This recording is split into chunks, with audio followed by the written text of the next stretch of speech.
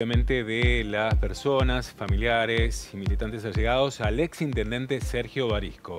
Se agrava el cuadro del exintendente, está internado en una clínica de la ciudad de Paraná hace ya varios días, donde previamente había sido intervenido quirúrgicamente. Claro, tuvo una cirugía de la cual se le había dado de alta, pero luego de manera posterior volvió a presentar complicaciones, por lo cual tuvo que ser internado y a partir de esta segunda internación su cuadro comenzó a desmejorar, principalmente en las últimas horas se habla de bueno, problemas de salud y genera sin dudas preocupación en el entorno del exintendente. Vamos a tomar contacto con nuestro móvil, trabajando en vivo, Facundo Galanti, justamente con este tema para ampliar la información. Buenas noches. Buenas noches, chicos, ¿cómo están? Eh, Fernando, Angelina, es así, este, como lo relataban ustedes, todo comenzó hace alrededor de 10 días, cuando al exintendente Sergio Barisco, eh, bueno, se lo mm, intervino quirúrgicamente un tumor en la cabeza. De mm, esa intervención salió bien y por esa razón fue eh, dado de alta.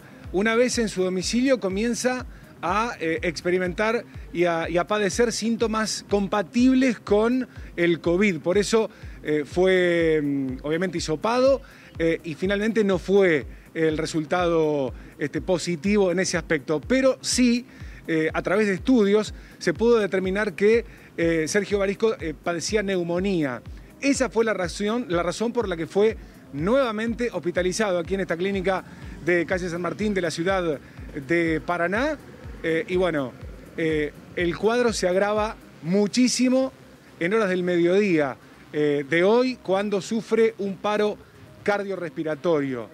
Esa situación, obviamente, este, mm, enciende las luces de alarma, está en un eh, estado crítico eh, desde su entorno, eh, desde sus allegados. Bueno, se está manejando con muchísima reserva. Nosotros quisimos, obviamente, recabar algún testimonio que no va a poder ser por el momento. Pero paralelamente a todo esto que les estoy relatando, hay otra enfermedad muy dura, muy grave, eh, de hecho, tenía previsto eh, comenzar a hacerse algunos tratamientos en relación a esto en los próximos días. Mañana a las 7 de la mañana hay un nuevo parte médico para conocer y actualizar el estado de salud del ex intendente de la ciudad de Paraná, que reiteramos es muy pero muy delicado, chicos. Facundo, también recordar que desde 2019 eh, bueno, ha comenzado con serios problemas. Antes de finalizar la gestión tuvo problemas realmente muy serios que, bueno, hicieron correr riesgo su vida. Luego, bueno, esta otra cirugía, ahora esta situación, o sea, es una persona joven de 60 años con varios problemas de salud que incluso comenzaron años atrás con un grave accidente de tránsito que ocurrió eh, donde falleció la ex concejal Mercedes Lescano. Las intervenciones durante su intendencia eh, estaban relacionadas al corazón. Exacto. Tuvo varias intervenciones en este sentido. Eh, y bueno, Facundo, ahora este, este panorama que ha generado muchísima preocupación en sus allegados, ¿has podido observar si alguno de, ellos están presentes en, la clínica? Hemos llegado hace un rato y no, no hemos dado con ninguno de sus familiares, obviamente, ha llegado gente de su entorno, pero es cierto lo que decía, ¿no? Ya son, son varios factores.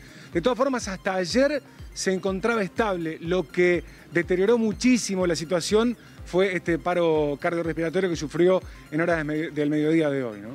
Bien, obviamente vamos a seguir muy de cerca el estado de salud del ex intendente Sergio Barisco, bien lo decías allí, bueno, un cuadro grave. Obviamente estaremos atentos y esperemos que haya una evolución favorable para este hombre que realmente es muy joven, 60 años. Realmente es una persona muy joven, ojalá que se pueda recuperar rápidamente. Facundo. Claro que sí, ojalá. ojalá que sí. Muchas Nos volvemos a encontrar en un rato, gracias. Un gusto, hasta luego.